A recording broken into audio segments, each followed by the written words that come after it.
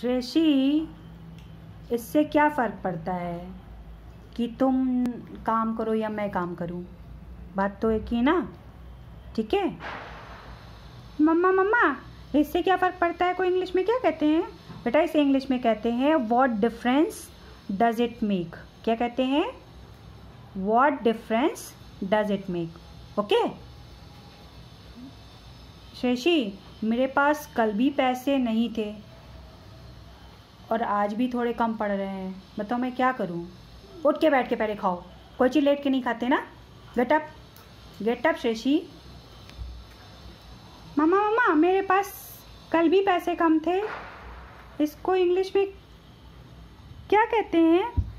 बेटा, इसे इंग्लिश में कहते हैं I have never had money क्या कहते हैं? I have never had money क्या कहते हैं? I have never had money तुम्हारी जो फ्रेंड है, वो तो देर से उठती है, हमेशा। हैं? वो देर से क्यों उठती है? मम्मा मम्मा, वो देर से उठती है क्यों? इंग्लिश में क्या कहते हैं? बेटा, इसे कहते हैं she is a late riser क्या कहते हैं? She is a late riser okay मम्मा मम्मा मैं तो जल्दी उठती हूँ।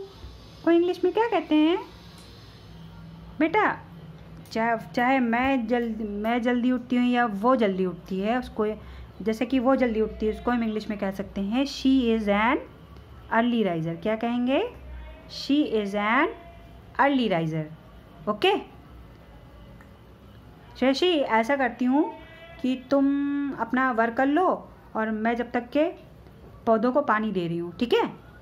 ओके मम्मा मम्मा मैं पौधे को पानी दे रही हूँ उसको इंग्लिश में क्या कहते हैं?